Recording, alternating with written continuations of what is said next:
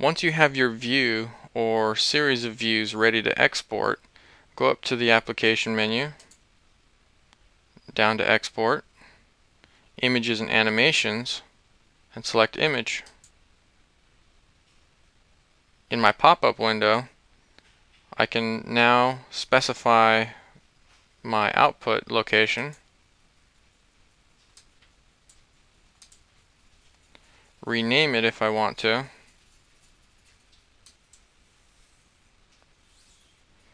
as well as adjust the image size. Now if I'm going to be exporting multiple images I may want them all to be a standard size and this is where I can specify that. I can also modify my direction as well as if I want to print based off the actual crop region or the actual size I can control that as well as scale that here. My format can be specified down here do I want to use a bitmap, JPEG, PNG, Targa, or TIFF? And for right now I'm going to specify JPEG lossless. And you'll also notice that my raster image quality can be modified. And so this is my DPI or my dots per inch or pixels per inch. And for a good print quality you want to be at least 300 if not 600 sometimes you'll notice this is grayed out which means that it's going to be based off of this type of image size and here you can see that it's not accessible so keep that in mind also if we're going to be printing a portion of a window or a view we can do that here as well as if we want to select multiple views and sheets.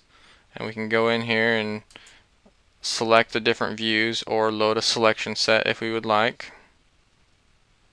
Now the cool thing is, and I bet most people didn't know this, once we select this option, we now have another option, create a browsable website with a linked HTML page for each view, which is kind of really cool.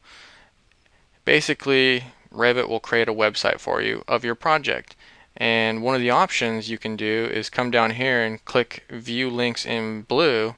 And what that will do, it will make the elevation tags, the section tags, and view tags in your plan navigate to the actual views themselves. And so I recommend trying that out and seeing what type of website or what type of format you can print your project to. And it's pretty cool. As well as, you know, some of these other features here you may want to turn on and off. That's exporting an image in a nutshell.